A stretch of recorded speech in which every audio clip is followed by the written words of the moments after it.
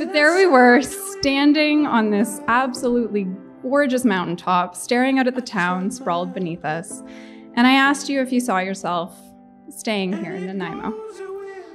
And without skipping a beat,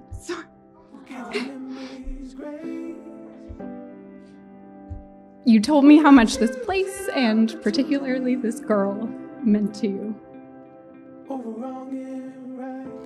Out of all the people in the world, out of all the places I've lived and people I've met, I feel so lucky to have found my person, the one that completes me, that always has a corny joke to make me laugh, who challenges me to be better, and is my biggest cheerleader along the way.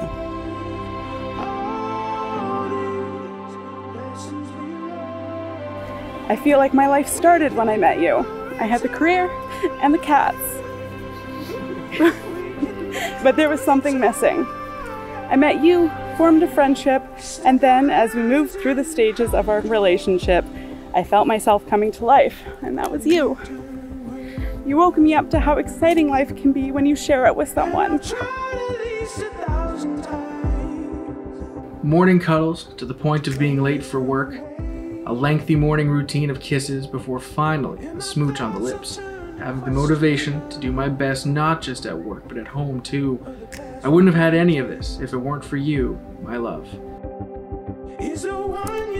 Papa Bear.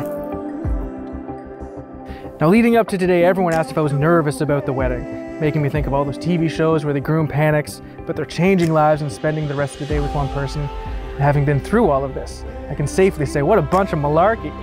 I have never been less nervous and more excited and more overcome with joy at the idea of marrying you.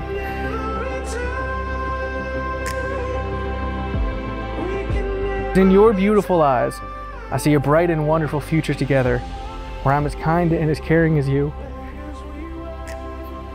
You're an amazing person. And just being at your side, I feel better, stronger, and kinder. And I know our love will last forever through whatever challenges this weird world sends our ways. And I couldn't be happier to face every new day at your side.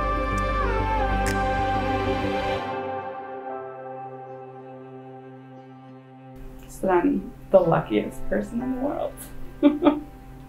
Sometimes I see Sometimes I wanna go with the light in from my memory. Let the truth be. This past few years, Amara has thrived on the island.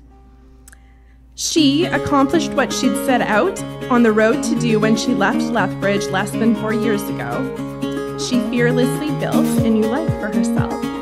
She set out to find a life that she loved here, and she found a life of love.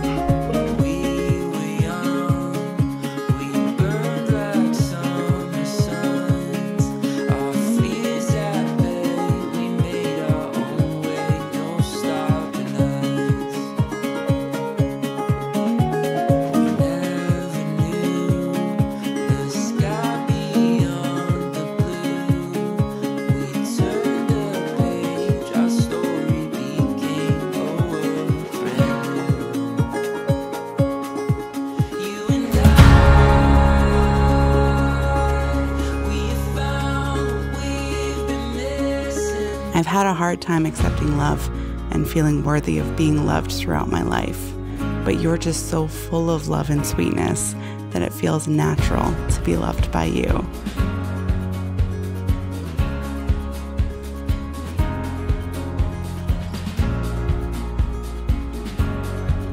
There's no one else I'd love to have at my side through everything we'll face together. You're a treat and a dream, always have been, always will be.